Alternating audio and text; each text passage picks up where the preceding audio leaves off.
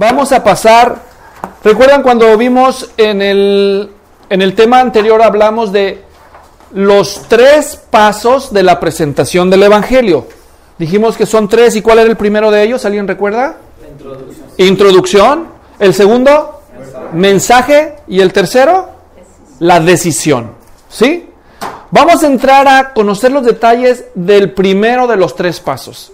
Y estamos hablando de la introducción.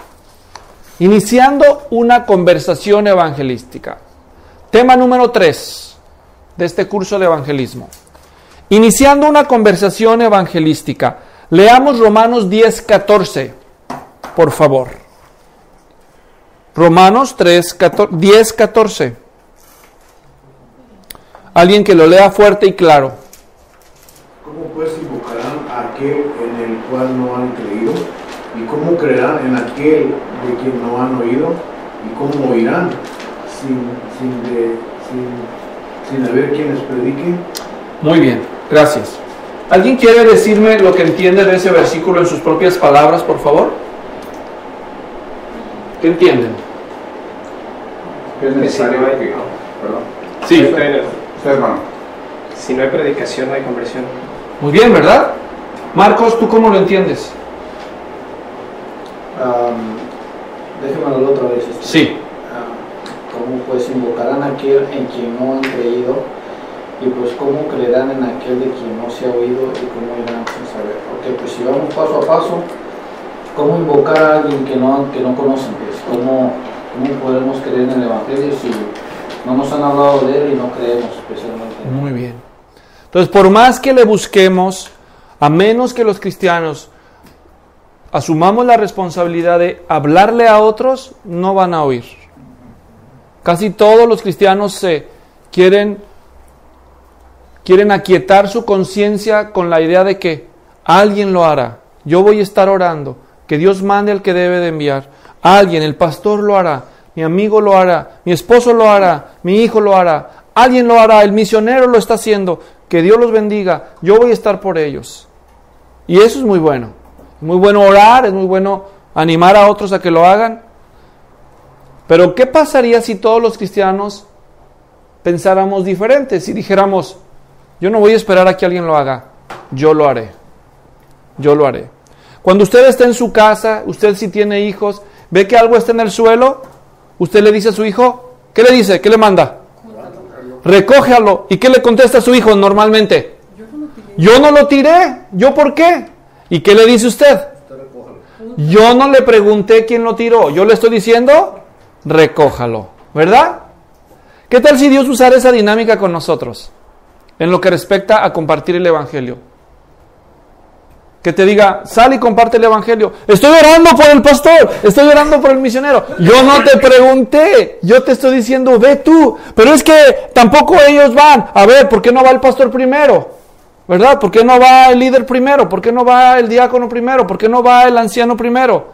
Yo no le pregunté a usted qué están haciendo ellos. Yo le estoy diciendo a usted, vaya usted.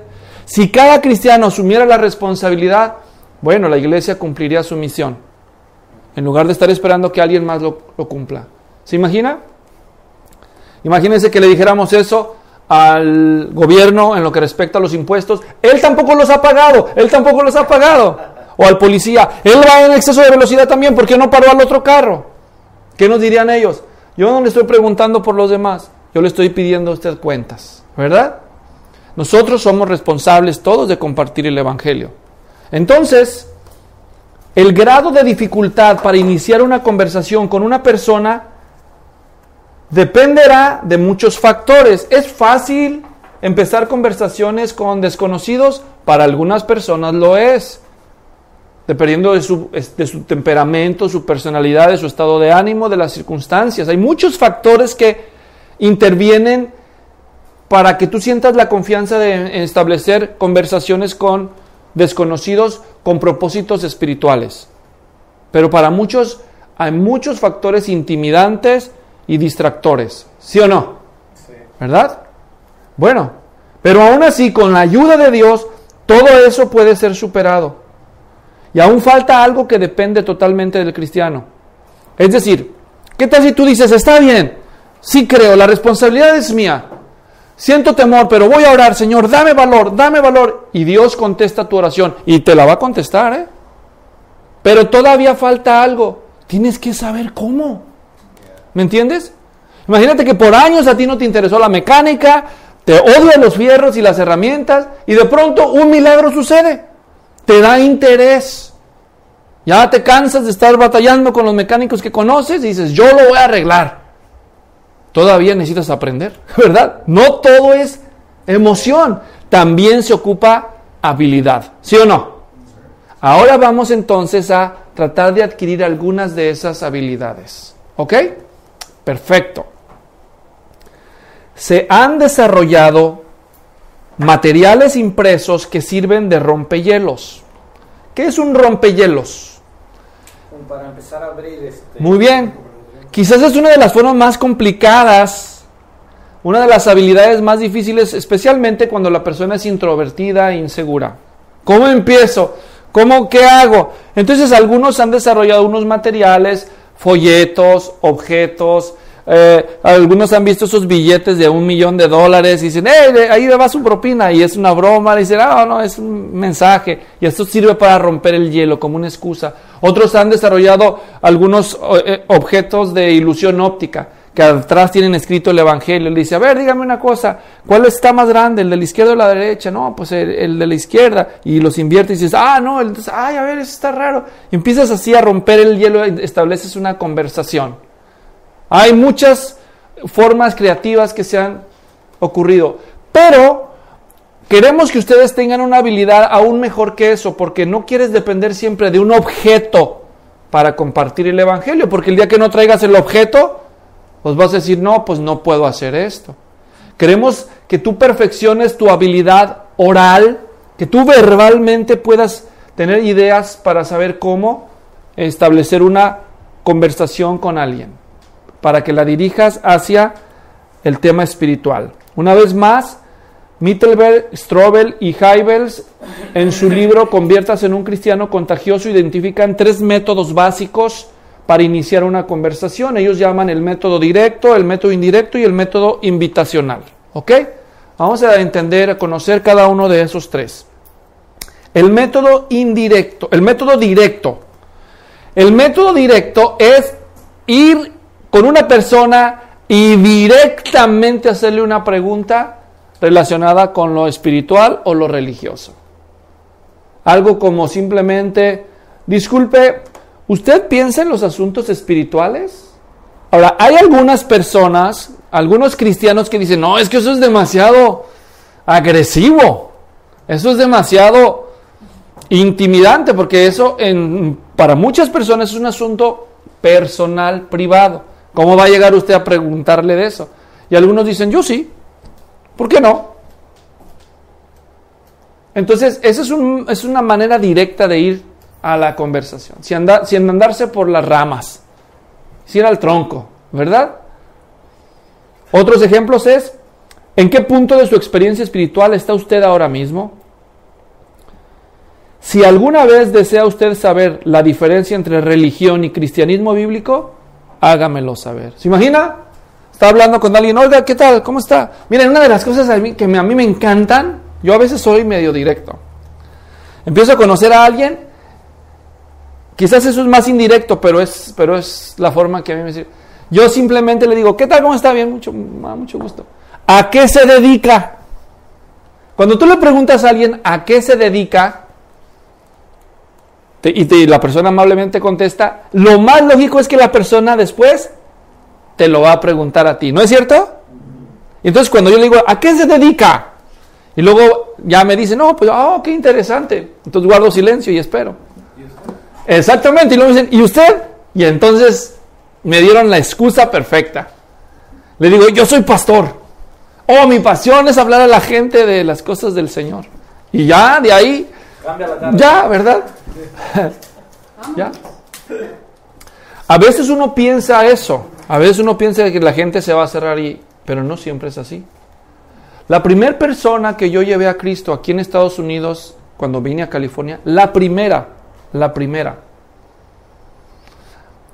la conocí en la biblioteca. Yo acababa de llegar, tenía poco tiempo, así que tenía que ir a la biblioteca para revisar mi correo electrónico. Y lo hice, fui a la biblioteca y estaba revisando mi correo electrónico, se me acabaron mis minutos que te regalan ahí y apagué mi computadora y cuando volteé a la derecha, una persona tenía en su screen, en su monitor, la catedral de la ciudad donde, donde yo nací. Yo le dije, ¡ay! ¿Eres de allá? Y la persona, imagínense, yo la interrumpí, ella estaba haciendo su trabajo en la computadora. ¿Eres tú de allá? Le dije. Y volteé y se me queda viendo con ojos de, ¿qué te pasa? ¿Verdad? Y me dice, sí. Le digo, yo también.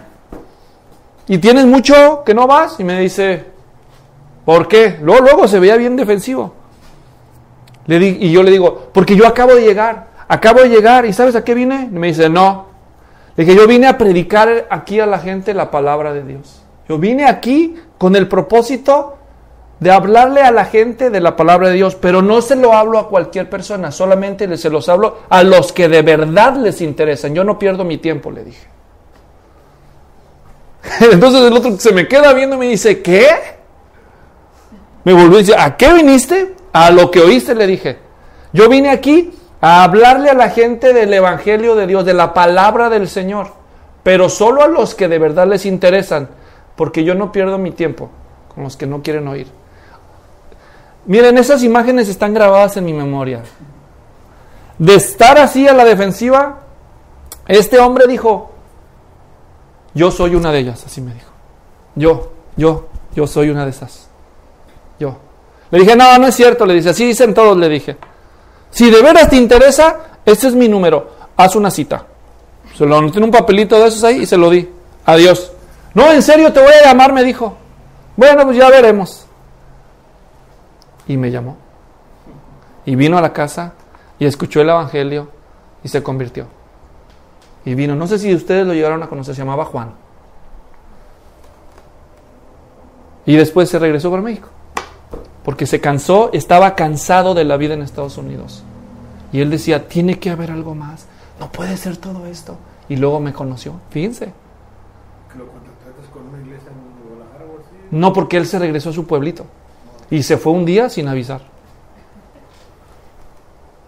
Tú no sabes, tú crees que te... No, pues ya, si ya metiste la pata.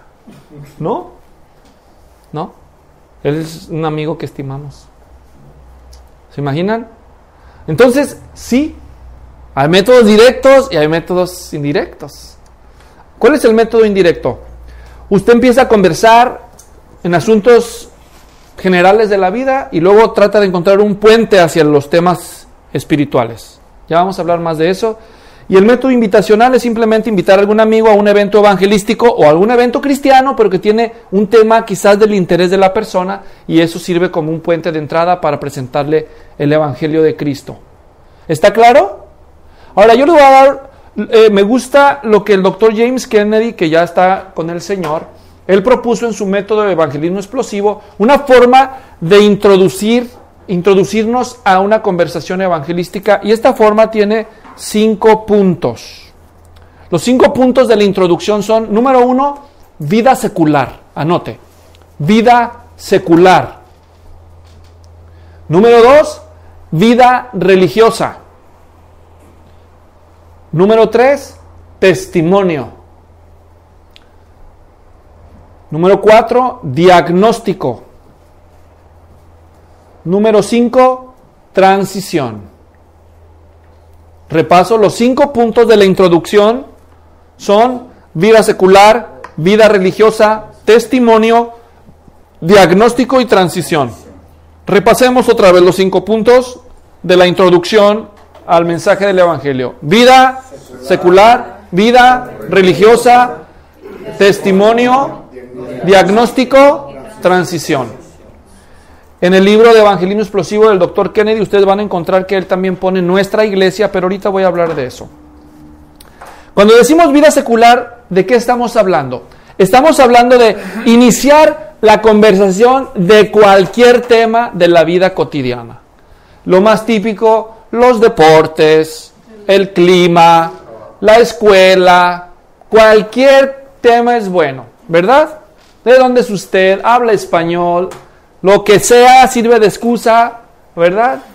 eh, ¿sabe usted de alguna renta? Lo que se le ocurra a usted nada más para, es una excusa para empezar la conversación. ¿Me doy a entender? Y mientras usted establece una conversación cualquiera, en su corazón y en su mente, usted en un espíritu de oración y de dependencia, entonces fíjese bien, antes de la introducción, asumimos que usted ha estado orando, porque ya hablamos de eso. Eso es esencial.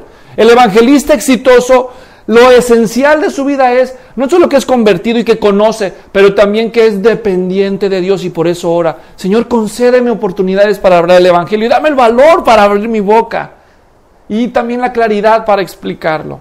Dame de nuevo. Entonces él ya hizo su trabajo privado, sale con la fe en Dios de que le va a conceder la respuesta. Y conoce a alguien y empieza una conversación de cualquier tema. Y mientras está en la vida secular, él tiene sus antenas espirituales hasta arriba tratando de detectar cómo el Espíritu Santo le va a conceder alguna palabra clave, algún asunto clave que sirva de puente para moverse hacia el tema religioso. Punto número dos de la introducción, vida religiosa. La vida religiosa, en ese punto usted introduce alguna pregunta o hace un comentario para moverse de los temas generales a los temas especiales de la fe y de la espiritualidad. ¿Me doy a entender? Hay mil maneras, no, ni siquiera les escribí una lista porque es infinito. Y lo mejor de todo es depender del Espíritu Santo y usar el, el discernimiento. A veces es tan fácil entre los latinos, pero tan fácil, tan fácil, porque muchos latinos tienen nombres bíblicos. Entonces a veces estoy hablando con una persona que se dedica a esto y aquello, oh, qué bien. ¿Cómo te llamas? Me llamo Isaías. Isaías, digo, oye, qué padre nombre tienes. ¿Tú sabes que ese nombre está en la Biblia? Sí, sí sabía. Oh, qué bien, yo la leo también. ¿Y me entienden? Tan fácil como eso. O cualquier otra cosa es buena. Y si no se te ocurre nada, pues ya bríncate así directo. ¿Verdad? Oye, cambiando de tema, ¿le puedo hacer una pregunta? ¿Se considera usted una persona espiritual? ¿Cree usted en Dios? Algo por el estilo. ¿Me doy a entender? Ya rompiste el hielo, platicaste de algo y entonces búscala. Si tú estás esperando, Espíritu Santo, muéstrame. Espíritu Santo, muéstrame. Pero si lo que tú estás esperando, ya después pasan 45 minutos de vida secular y sigues esperando, se te acaba el tiempo y dices, no, ya me voy, no, pues es Espíritu Santo, nunca me dijiste. ¿Cómo? Y lo que tú estabas esperando es que la persona te diga, por favor, hábleme el Evangelio, hábleme el Evangelio, conviértame en cristiana. Pues no, eso no va a pasar. ¿Me entiendes? Dios te da sabiduría y discernimiento, pero si sientes que no captas bien, tú puedes dar un paso de fe, arriesgarte. ¿Me explico? Y tú mismo decir, oiga, ¿le puedo hacer una pregunta? ¿Usted cree en Dios? ¿Le puedo hacer una pregunta? Sí. ¿Usted sabe de los mandamientos, de los diez mandamientos? Sí. ¿Cuántos de esos se sabe? Si tú empezaste, oiga, ¿cuántos, ¿cuántas marcas de carros? ¿Cuántas, ¿Cuántas? ¿Me puede decir el nombre de diez cervezas en, en menos de un minuto? Sí, se las digo. A ver, dígamela. Ahora dígame de los diez mandamientos, ¿cuántos me puede decir en, en menos de un minuto? ¿Verdad? Yo no sé, hay mil maneras de moverte de la vida secular a la vida religiosa. El punto no es realmente debatir en cuanto a religión, lo sabemos, simplemente es abrir la conversación, abrir la conversación. Después de eso, tú quieres darle un poco de información que no sea amenazadora. Quieres, quieres tú, tú lo que quieres encontrar con el tercer paso, que es el testimonio. Oigan eso, el testimonio. Entonces, número uno de la introducción, ¿qué es? Vida secular. Número dos, vida religiosa. Número tres, tú quieres lograr que la persona se identifique contigo. ¿Me entiendes? Porque básicamente de un lado de la frontera espiritual está la persona y del otro lado de la frontera espiritual estás tú. ¿Correcto? Y tú quieres enseñarle a la persona que tú estabas en este lado de esa frontera, pero que algo te sucedió y cruzaste la frontera. Pero quieres comunicarle a la persona que tú la entiendes, que tú sabes lo que ella vive y que algo te pasó a ti que te hizo moverte, aunque tal vez no lo habías planeado y no lo habías deseado, pero te hizo moverte de allá para acá. ¿Captan eso?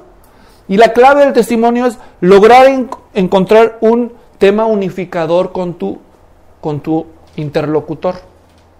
Si el tiempo que tú dispones, por lo que la conversación te ha permitido, si el tiempo que tú dispones para interactuar con la persona, consideras que no va a ser suficiente como para hacer una presentación detallada del Evangelio, en tu testimonio puedes presentar el Evangelio. Pero si tú consideras que sí Dios te puede dar la oportunidad de presentar el Evangelio, tú no vas a explicar el Evangelio aquí, solamente le vas a lanzar el anzuelo. Le vas a decir cómo era tu vida antes de conocer esto y cómo es tu vida ahora que lo conoces, pero no le vas a decir cómo lo conociste. ¿Me entienden? Y la clave es encontrar un tema unificador. El tema unificador de tu testimonio es encontrar un asunto de tu vida que se parece al asunto de la vida de la persona con la que estás platicando y contarle cómo era tu vida antes de conocer este mensaje, esta buena noticia, y después de que conociste esta buena noticia, el cambio que eso ha producido en esta faceta de tu vida con la que tú te identificas. Pongamos un ejemplo. Digamos que la persona con la que tú platicas te das cuenta que le gustan las fiestas y que le gusta tomar. Y quizás en tu historia también a ti te gustaba y llegaste a tener problemas con el alcohol. Entonces, cuando tú te das cuenta, dices, ah, ok. Entonces tú vas a usar tu testimonio personal enfocado en este tema de identificación, porque tú quieres que la persona, si, si ya llegó el momento en su vida espiritual donde está cansada de la esclavitud a ese pecado, entonces quizás va a hacer conexión contigo y ahora vas a descubrir por qué Dios te la cruzó en el camino. ¿Me entienden? Y los temas unificadores son infinitos. Puede ser el temor, el temor a la muerte, la debilidad, el resentimiento, el enojo y la lista es interminable. ¿Me entienden? Hay temas que son muy comunes y generales con las que casi todas las personas se identifican. ¿Cuáles son? Por ejemplo, uno es el miedo a la muerte. Casi todas las personas tienen miedo a la muerte, aunque no lo dicen y nunca hablan de ello. Otro es, la inmensa mayoría de las personas vienen de hogares disfuncionales, donde alguno de los padres estuvo ausente física o emocionalmente. ¿Me doy a entender? Entonces, hay muchas, hay ciertas dinámicas. Otro de los temas más comunes en muchos, especialmente en muchos varones, es problemas para el manejo del enojo. ¿Entienden? Entonces, si tú preparas tu testimonio personal, cómo era tu vida antes de conocer este mensaje, las buenas nuevas, y cómo había desorden en esa faceta de tu vida, pero conociste este mensaje y este mensaje produjo un cambio que tú no habías esperado, y ahora en esta área de tu vida Dios ha hecho un cambio y está todavía haciendo un cambio muy hermoso, y eso puede abrir el apetito espiritual de la persona. Puede usar Dios eso para despertar interés en la persona. ¿Me están captando? ¿Sí? Entonces repasemos los puntos de la introducción. Número uno. Número dos. Número tres. Testimonio. Número cuatro. Diagnóstico. Aquí en el testimonio valga agregar la aclaración. El doctor Kennedy también incluye nuestra iglesia. Él dice que lo que se puede hacer es decirle a la persona eh, tu testimonio y al final de tu testimonio decirle, y esta es una cosa que Dios ha hecho en mi vida, pero lo más importante que Dios ha hecho en mi vida es que Dios me ha dejado descubrir cómo podía yo tener el regalo de la vida eterna. Entonces ahí enlazas el tema unificador con el tema de la vida eterna, según el doctor Kennedy. Y luego, después de esta parte, el doctor Kennedy dice, ese es el propósito por el cual existe nuestra iglesia. Nuestra iglesia existe para darle a conocer a cada persona el mensaje de la vida eterna. Y de ahí pasan ellos al asunto del diagnóstico. ¿Por qué yo evité eso de mencionar de nuestra iglesia? Eso podría hacerse, es opcional, no está mal. Pero ustedes saben que en el contexto latinoamericano las personas, mayormente las personas de un trasfondo tradicional, eh, romanista, son personas que bajo ninguna circunstancia han contemplado la idea de visitar una iglesia diferente a la de ellos. Sí son personas amables y probablemente con interés y apertura para escuchar el mensaje, pero no para cuando oyen iglesia, eh, algunos de ellos se pueden cerrar. ¿Me entienden? Cada uno de ustedes deberá de conocer ese detalle. En Estados Unidos hablar con los latinos es menos agresivo, pero para los que están en América Latina todavía hay contextos donde la gente cuando oye iglesia inmediatamente se cierra. ¿Sí me explico? Cada quien debe de revisar el área donde está, donde está manejándose.